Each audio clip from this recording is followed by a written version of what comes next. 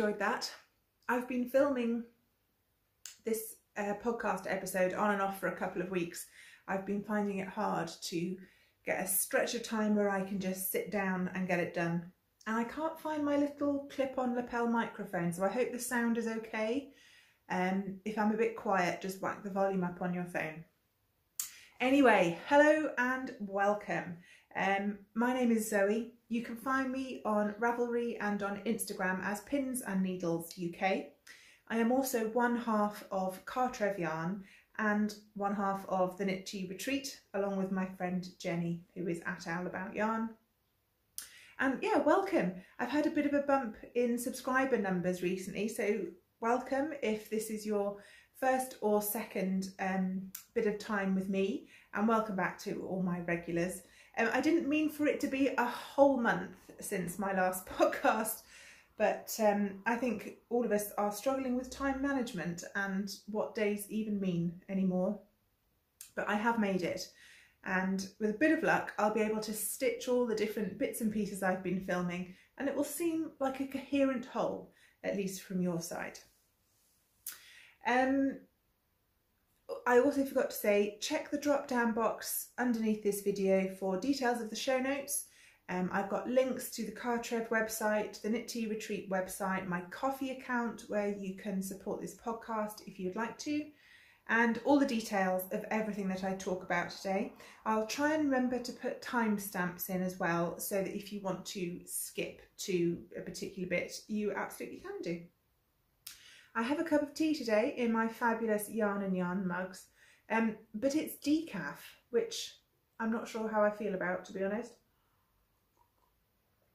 It's still Yorkshire tea, but um, I've been struggling to um, sleep properly this last couple of months, so I'd stopped drinking tea after lunchtime which I think has been helping a bit, although not much, but I really miss drinking tea. So I thought, I was in the supermarket today, I picked up some Yorkshire tea decaf, and it's fine. It's not as good as the normal stuff, but it's better than no tea at all. Okay, I'm going to add in one of my um, earlier filmed snippets to kick off the finished object section. And here you go. I've got two proper fully finished objects to show you and I am heading off to give one of them to their intended recipient as soon as I finished recording this. I've had some technical issues this morning um, but I won. Haha! Anyway, so um, I might have mentioned on previous episodes that I've been taking part in a secret sock swap amongst a group of friends and um, we all pulled names out of a hat and had to knit socks for the person that we drew. And um, I made a slight error in that I thought I was knitting socks for Jeanette. And so I found some beautiful yarn and a really nice pattern that I thought would be fab for her. And I cast them on, ooh, between Christmas and New Year, I think. Knitted them up, gorgeous, loved them, really happy with them. And then Jeanette posted in our friends WhatsApp group, oh my goodness, my gorgeous socks have just arrived. And somebody else was knitting socks for Jeanette. and they were beautiful. Um, so then I had this pair of socks that I'd finished with Jeanette and I tried to work out who else I was supposed to have been knitting socks for all along and then had to knit a second pair because um, Jeanette works for the NHS and is an all-round fabulous person and she deserved the socks I knit for her. Um, and the person I should have been knitting socks for also deserved a really nice, thoughtful pair of socks. So I didn't want to just alter the ones I'd made for Jeanette and give them to the person I should have been knitting for, who is Ange of the Yarn and Yarns podcast. So the long and short of it is, I've knit two pairs of secret socks. So I'm going to quickly show you um, the socks. So this is the pair that I knit for Angela. And I hope you can see that. It's a, sorry, I've got my silly Ikea lamp right in the way and I keep biffing it. There we go. Um, so these are the socks I knit for Angela and it's called Into the Woods. And I can't remember the designer, but it'll be in the drop down box below. And it's a similar stitch pattern, if you remember, to my Constellate hat that I finished not so long ago. So it's a stocking stitch background and um, I, again, I can't give it away because it's a paid for pattern, um, but you create these sort of loops of pulled through stitches to make these little trees. So it's a top down heel flap and gusset pattern um, in this beautiful, slightly tweedy yarn. And uh, with a bit of luck, yes. So this was some yarn that I got sent from KnitCrate and it's their Uru Yarn Unicorn Sock in the colourway Hot Cocoa. Um, so it's a Merino Donegal Nep and Nylon blend.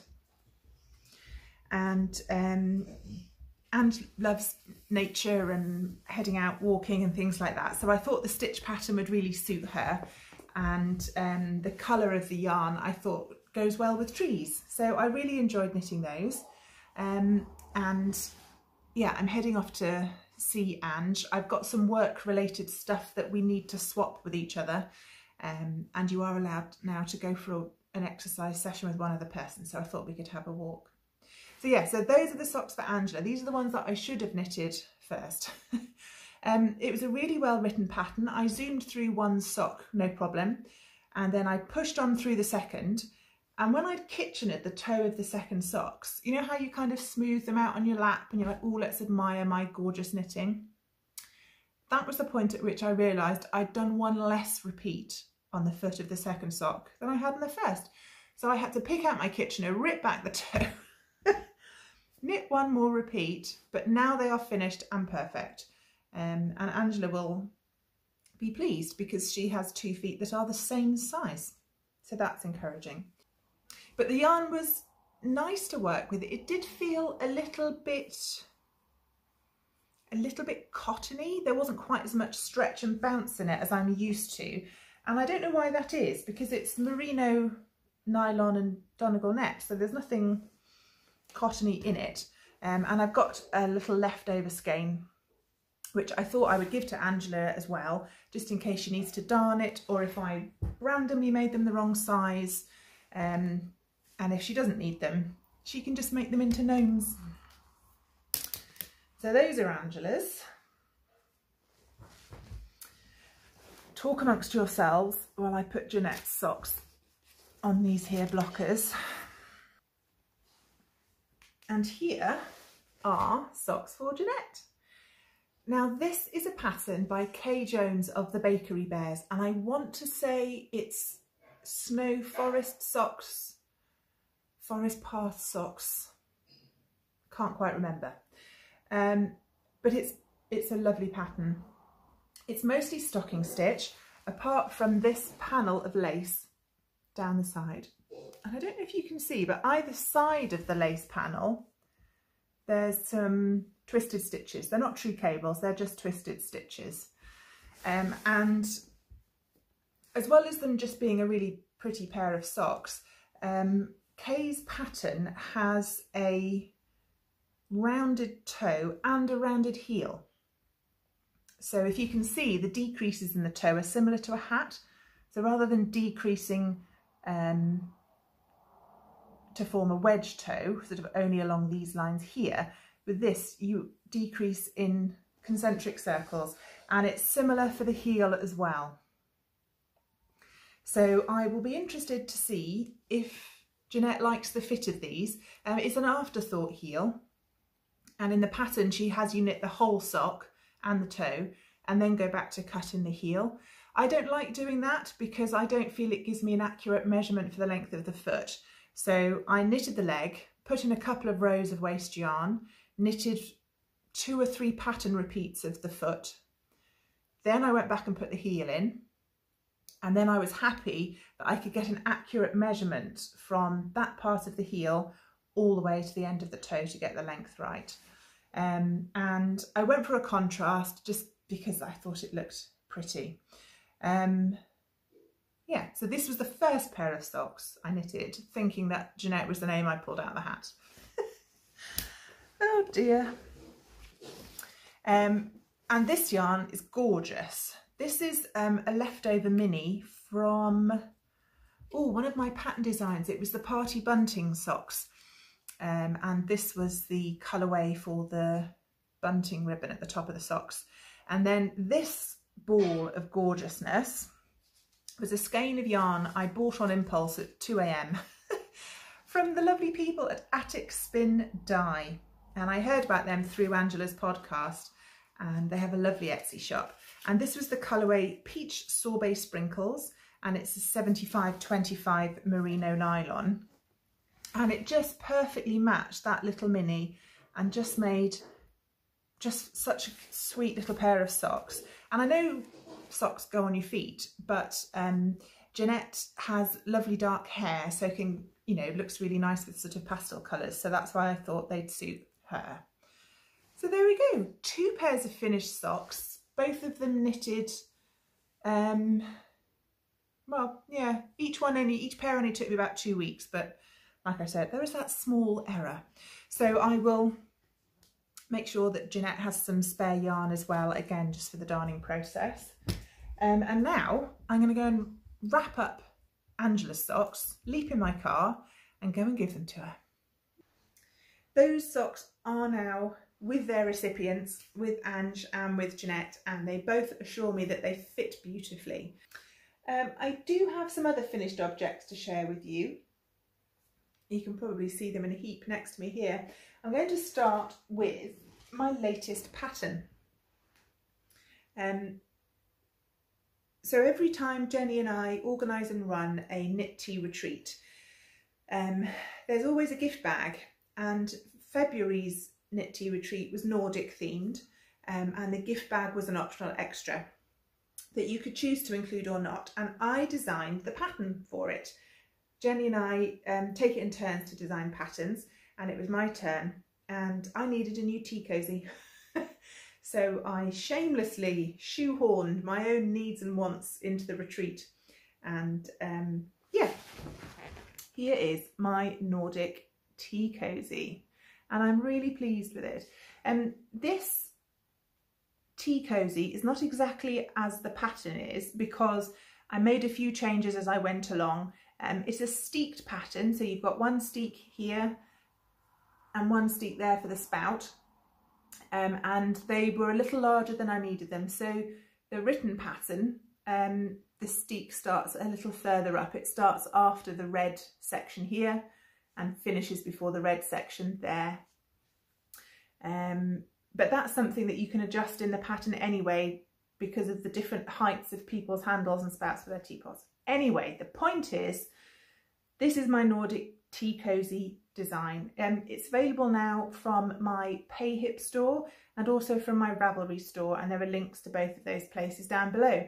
And I'm really pleased with it. I used our yarn, Cartref yarn, here's our label, from Farm to Yarn in Wales.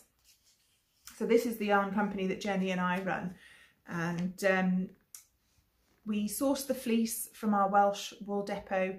We have it spun up in Ceredigion and then we dye it ourselves. So the first time it leaves Wales is when we put it into the postal system to be delivered.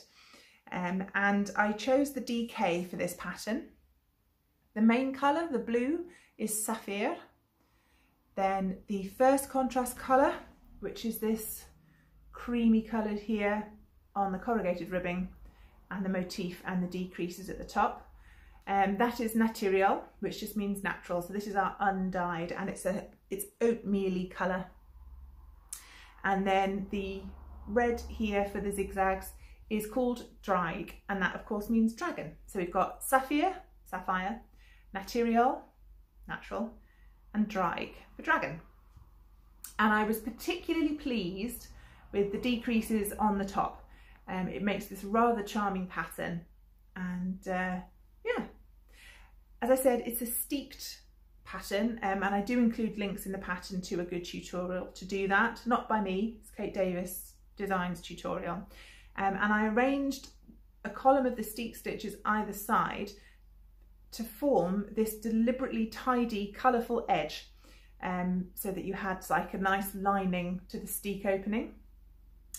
Um, yeah, so that's now available to buy. Um, if any of you are subscribed to my newsletter and you missed it, I did send you an email with a discount code. And if any of any retreat attendees are watching, you should have had an email with a PDF of this attached and also a, a download code for Ravelry or Payhip, which would give it to you for free, just in case you wanted a backup copy. So yes, I've been knitting away on this for quite a while and I'm very pleased with it. And now that I've shown you, I can put it on my teapot. I've got um, a Kate Davies cozy on my teapot. It's the sheep carousel pattern, if anyone knows that. And it's looking rather the worse for wear. So it would be nice to have a fresh cozy in a slightly darker background colour.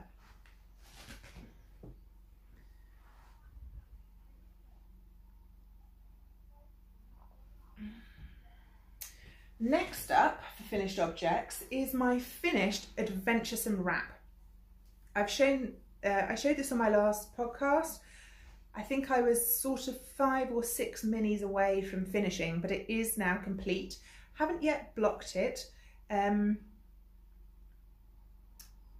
I kept, one of the reasons I kept putting recording this off is because I wanted to get this washed and blocked to show you it properly finished and I'm just, I'm making excuses. So here it is in all its marvellousness. This is the Adventuresome Wrap by Amber O'Brien. You knit it bottom up and there are increases and decreases built into the pattern to give it this wedge shape. And it has a nice lace work pattern to each section. Um, and I've absolutely loved loved knitting this. Um, I cast it on um, between Christmas and New Year, I think. Um, and it, it's been absolutely a pleasure to, to knit. I'm sort of sad it's over. Do you ever get that? When you kind of don't want to finish a project because then it'll be over. but I think it's going to be worth it. So the purple colour here um, was a present given to me by the lovely Louise, who is BFB. I don't think I've got the label with me, but uh, the details will be down below. Um, and I have about half the ball left. I have about an extra 50 grams left. Um, and yeah, I was a little concerned about using purple as the contrast, it works out absolutely fine. And the minis that I used to knit the stripes were in my friend's advent calendar swap, so I don't know what most of them are, um, but they're absolutely beautiful. So now I've shown you guys, I can um, give it a soak and pin it out on my dining room table, and hopefully I'll get some modelled shots for you next time. I did want a bit of extra length, um, just so that it's got a bit more flingability.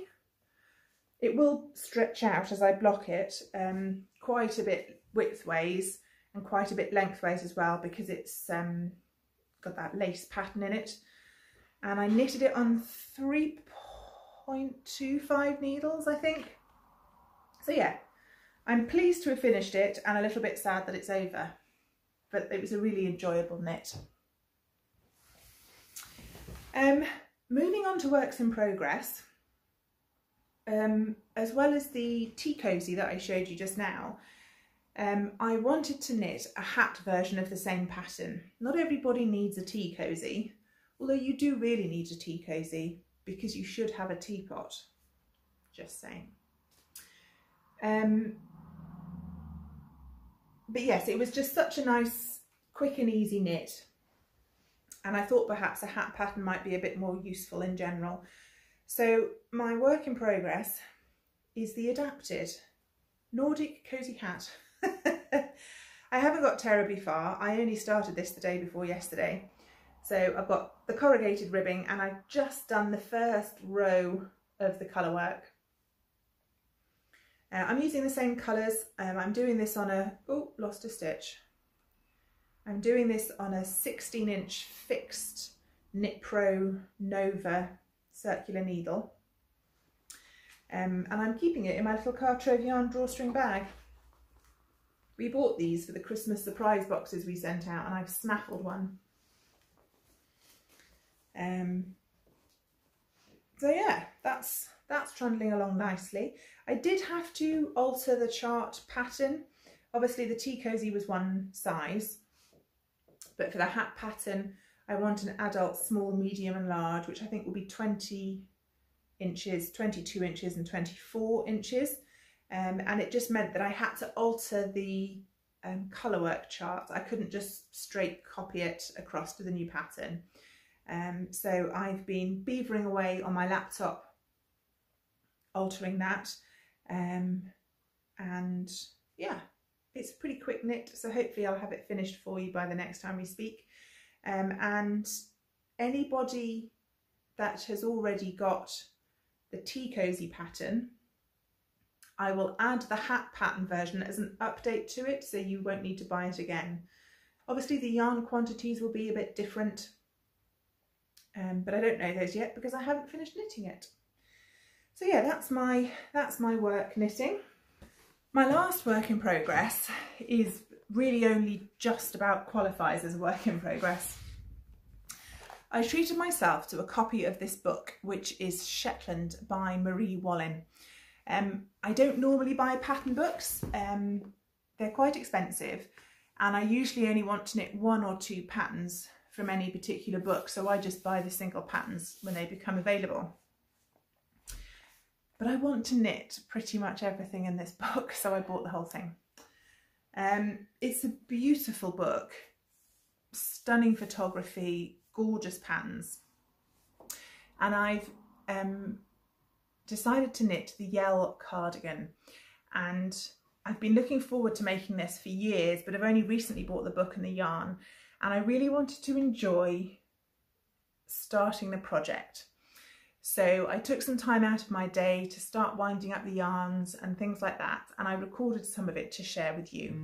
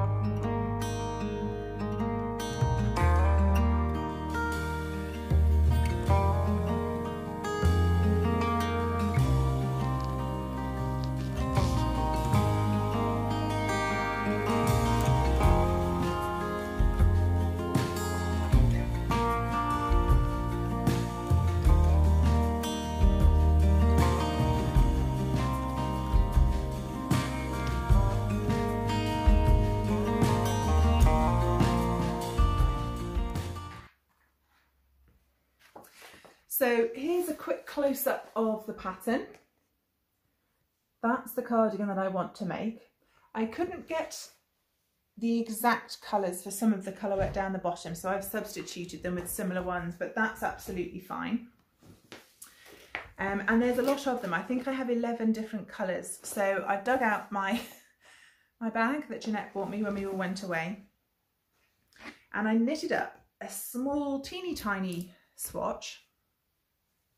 Um, this is um, Shaela and Sholmit. Um, and you use these for the um, upper part of the body and sleeves. And the pattern recommends 3.25 mil needles, which is what I knit this swatch on. And it, it's not my finest work because my hands were pretty painful at the time. So tensioning the yarn was sore, so it was a bit stop-start. But I got my tension spot on first time. These are two different shades of grey and they're showing up differently quite nicely on the camera. Um, it is perhaps a little bit harder to see in person, but I've only done quite a small tension square or tension tube rather because I did it in the round. And I think once you've got the whole entirety of the garment, it'll show up more easily. So you can see my steek stitches down the side there and you've got a sort of a, a lozenge and then a, I don't know what that is, like almost like a cross. And the yarn is beautifully light, very warm, very gorgeous. Because I wanted to do a small tension tube, I knit on DPNs to do that. I will use one long, excuse me, I will use one long fixed circular for the body.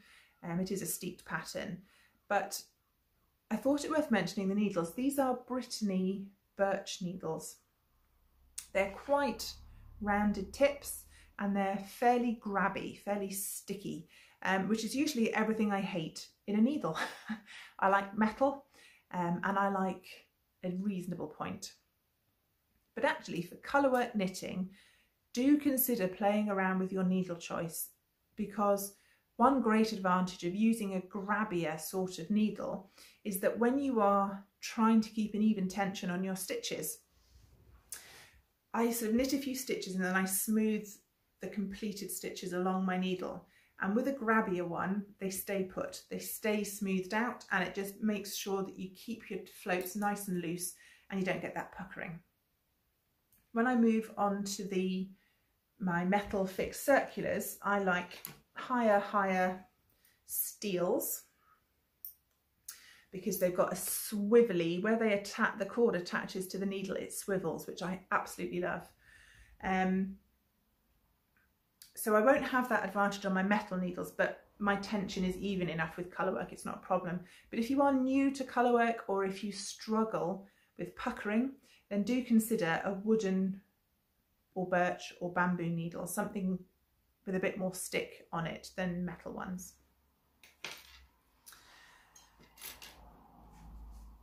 I showed in the video that I made myself these little these little tags with all the different yarns on the sides because I live in fear of using the wrong one so I thought a quick reference was probably sensible. Um, I'm making this with the recommended yarn in the pattern which is Jamieson's Shetland Spindrift and you get 25 grams in a ball which gives you approximately 105 metres and I bought the majority of the contrast colours from the Jamieson's website, but I couldn't quite get them all of them. So I found the rest at You and Ply, which is a local yarn shop based in Oswestry in Wales, which is nice. Obviously they're closed at the moment because of COVID, um, but they do have a really good website and fabulous customer service. So if you're on the hunt for some Jamiesons, do consider You and Ply. And then tucked in here are all my colours ready to go and I've got two layers of them. So if I take out these four and that one, there's the next layer of colours. Oh, what beautiful. And the really wonderful thing about Jamieson's is that quite a lot of their colours are a blend of different colours. So this is green, that's blue and that's yellow. But if you take a close up look at the fibres in the balls, you can see that there's touches of the blue in the yellow, there's touches of red in the blue, and there's touches of yellow in the green. Gorgeous, absolutely gorgeous. So um, I'm ready to go with this project. All my yarn is wound up. I'm knitting, it comes in three sizes. It's an oversized open fronted cardigan. So, you know, you don't need to worry too much about stitches per inch. And I'm knitting the middle size. I think that might be the large to extra large. Um, and I've decided that once I've knit the central colourwork section of the Nordic Cozy Hat, I'm allowed to start this. Hopefully tomorrow. And then on to spinning, I think. I had quite a big spinning section in my last um, podcast because I decided to take part in Fluff to Stuff, which is a year-long spin and make-along run between Mina, who is Knitting Expat, Grace of Babel's Travelling Yarns and Marce from Hey Brownberry. And I actually attended, they have a monthly Zoom get together, uh, for want of a better word, and um, I bought tickets to the February one, um, which I really enjoyed actually. I wasn't sure how quickly the tickets went. I didn't find out about the January Zoom until after it had happened, so I couldn't have got tickets for that. And the tickets for this one went on sale at 5am our time, which I think was a sensible time for Marce over in the States. So I set my alarm for 10 to 5 in the morning, which isn't that much earlier than I usually wake up. Um, but I woke up and grabbed me a ticket and grabbed Jennie a ticket and we had a really nice time.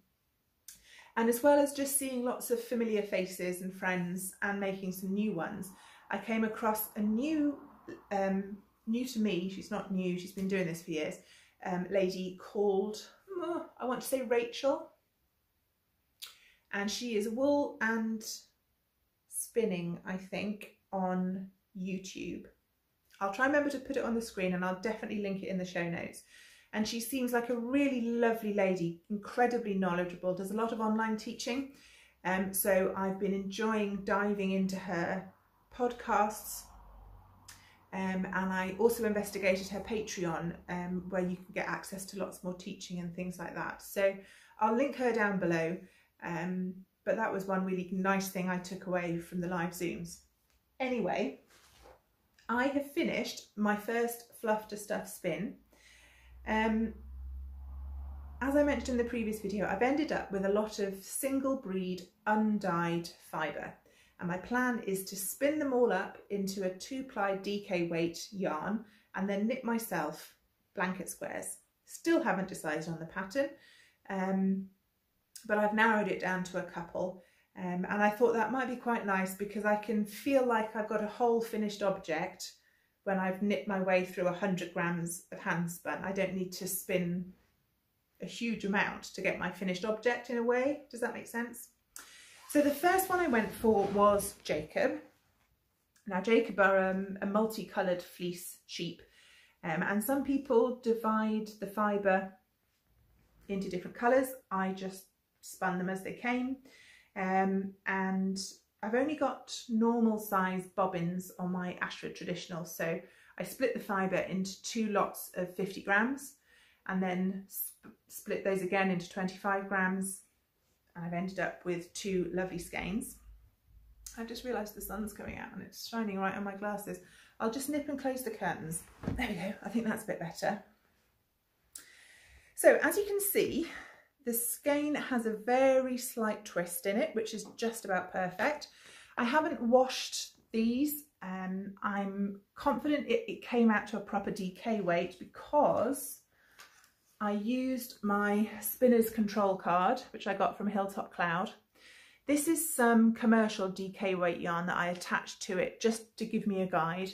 And I was constantly comparing my spun singles and then plied yarn um, against this and I was aiming for the 14 wraps per inch at the bottom.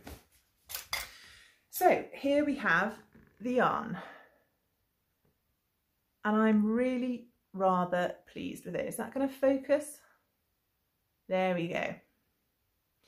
So when I was spinning up the singles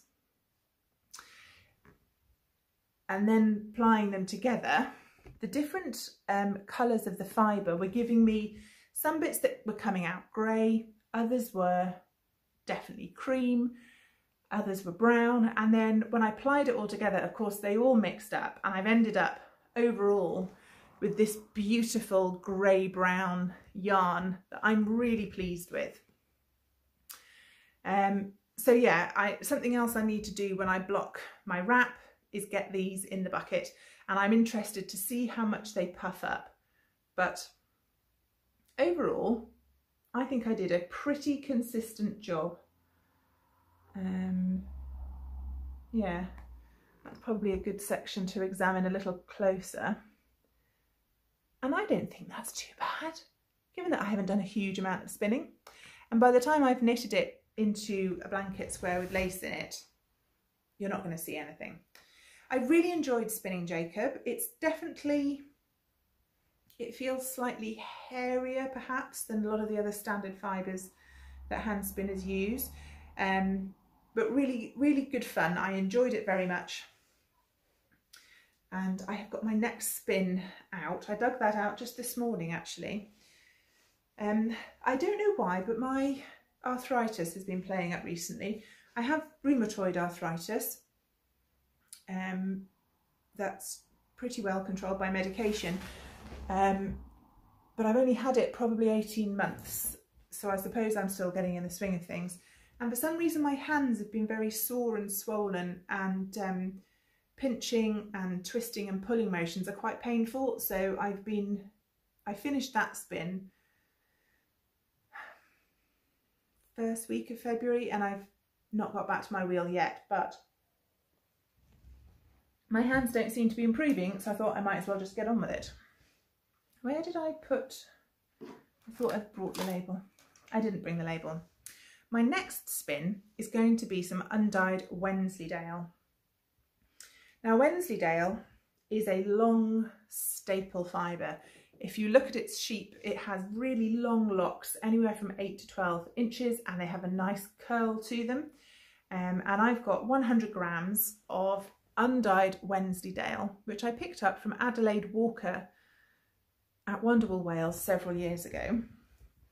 Um, again, I divided it in the same way and I had to pull one extra bit off because I hadn't done it quite precisely. Um, and it's going to be interesting to see how I get on with spinning this because of the extra long staple length. So when you're spinning and drafting the fibre, so you're sort of pulling it out like this, you need to have your hands further apart than the length of the fibre. So if, for example, the fibre is three inches long and your hands are two and a half inches apart, you can't pull the fibre apart, fibre apart because your hands are closer than the length of the individual fibres. And obviously with longer staple fibres, your hands need to be further apart again. So if I just tease this out, gosh, look at that. Look how long that is. That's slightly longer than the length of my hand, I'd say. Now, obviously, the fibres don't all start here and they don't all stop down there. There will be a little bit of overlap, but even so, yeah, I think that's what we're looking at. I've got actually my six, we're probably talking eight inches and that's longer than I've spun before. So I'm, I'll do some pre-drafting because that makes things much easier on my hands um, and I'll crack on with that. And one of the characteristics of longer staple fibres is that they have this beautiful sheen to them, um, sort of similar in a way to silk. And you don't want to put too much twist into this um, so that you don't lose that shine. You want long, smooth surfaces so that the light can really bounce off it. So that's going to be a challenge, I think, but one that I'm looking forward to. for acquisitions, obviously there was the Shetland book, which I bought directly from Marie Wallin's website. Um, I haven't bought any yarn or anything, but I did buy an awful lot of fibre from John Arbon. I was cross that I couldn't spin because my hands were sore, so I decided that buying fibre was kind of the same. It's not the same. So I bought 200 grams of, no I didn't, I bought 500 grams of their Yarnadelic top, which is 100% Falklands Corriedale. And it's in the colourway Black Gold as the Sun. Now I'm a mill member of John Arbon, so you can sign up to be a mill member. You pay, I can't remember how much you pay, but they send you some lovely goodies and you get a permanent discount on their stuff and I, I was watching Lynn of Calon Yarns podcast, who I know slightly from back in the day. She's another Cardiff based spinner and she had some of this and I fell in love with it. So this is a sweater's quantity of fibre. And in the same way I was showing you the different colours in the Jamieson's yarn, look at all the different colours in this. That's coming up pretty perfect actually. So you've got teals, you've got navy blues, you've got spring greens, you've got little bits of red, purpley red, and it's just the most beautiful, beautiful colour. I think I will probably spin this up to be four ply. It's like a person that you can hug. Um, because with five skeins, if I end up with five 100 gram skeins of fingering weight, that gives me an awful lot more options. I could spin it up as DK and perhaps do a, a shorter sleeved um, something, but I think probably four ply will be the most versatile. Um, and I've got, I don't know if I mentioned this before, but I joined the Kickstarter for the electric e-wheel, electric, I always get this wrong, the electric eel wheel e-spinner, that was a mouthful. Um, he's launching a 6.0 version of his larger size electric spinning wheel. Uh, I think I ordered it, the Kickstarter ended back in June last year, um, and I should be getting that hopefully April. So I think this perhaps might be the project that I put on that because it comes with much larger bobbins. You can get, I think, 200 grams onto one of his bobbins. So I'll be tucking this away for now, um, but oh, it's gorgeous and I do love Corriedale. I haven't spun Corriedale, but I have knitted with it. And they send it in these cornstarch bags. So they're completely compostable, which is nice. Oh, and you get a nice card that comes with it with a sheep on the front. Traditional British made yarn and tops from the heart of North Devon. And on the back it says, Dear Zoe, thank you for ordering our top. Please find it enclosed along with your receipt. How sweet. So thank you very much.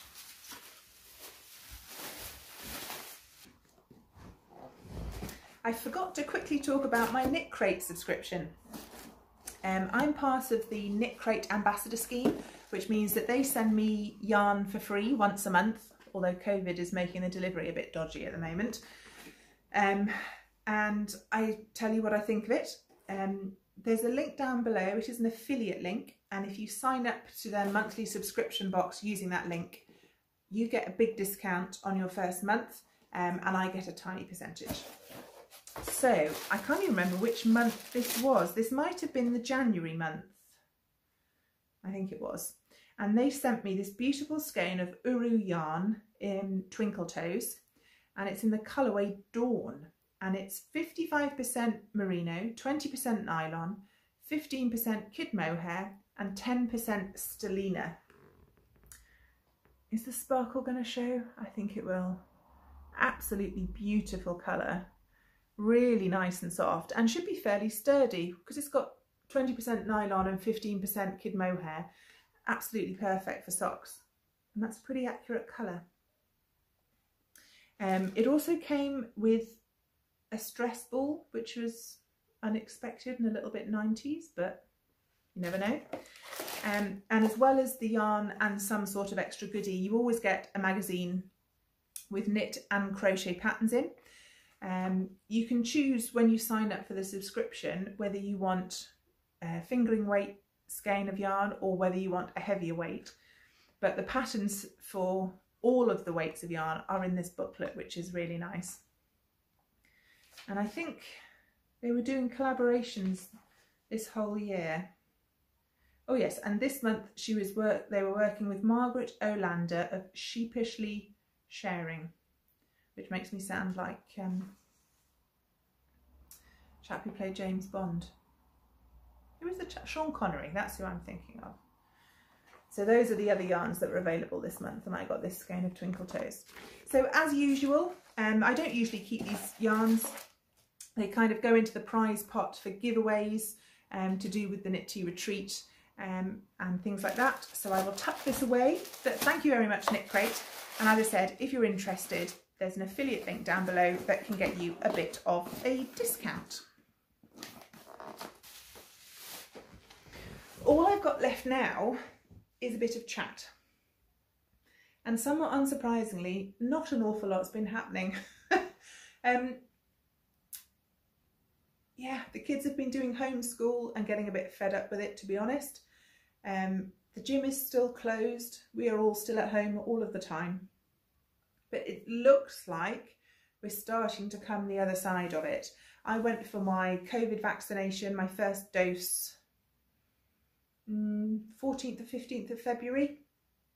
I'm classed as clinically vulnerable because the I'm on immunosuppressants for my arthritis. So I've had my first injection. Hopefully it won't be too long till I have my second. And the governments are just starting to talk about opening things back up. The youngest primary school children went back a couple of weeks ago. And we heard yesterday that my eldest, Conrad, um, will be going back full time from the 17th of March. He'll have two weeks back in school and then they break for two weeks for Easter, but he'll go back again full time after.